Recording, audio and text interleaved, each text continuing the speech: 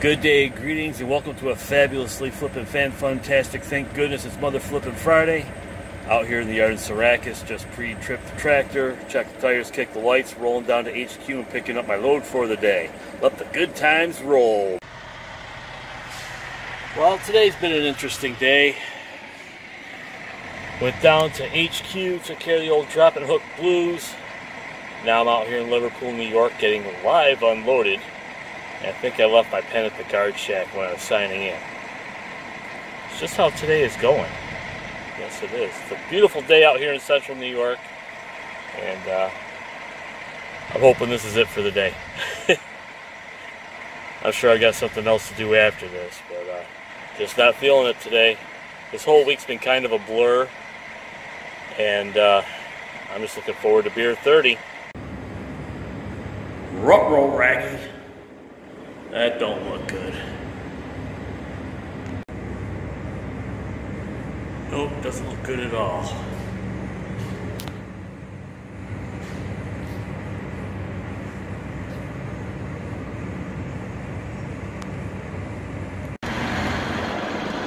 All right, so I'm unloaded out here in Liverpool, and uh, I talked to somebody who works here about the hole in the roof. I asked them what they unload the trailers with, and they unload with a uh, thing called a pacer. He says kind of like a forklift kind of deal. But he also told me that they don't unstack skids inside the trailers. They do a straight pull, and then they, if they have to unstack, they stack on the dock. So I talked to dispatch, I talked to the shop, and I'm taking the trailer back to the yard, and they're going to figure out uh, what's up, what's going to happen with it next.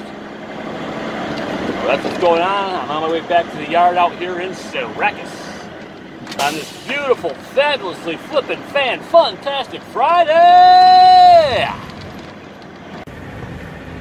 Whoa, it's like an earthquake again. You gotta shake, rattle, roll. Shake, rattle, roll, yeah, yeah. Ah, the best sound of the day. Okay, so that empty trailer I dropped off in Syracuse to a trailer repair place.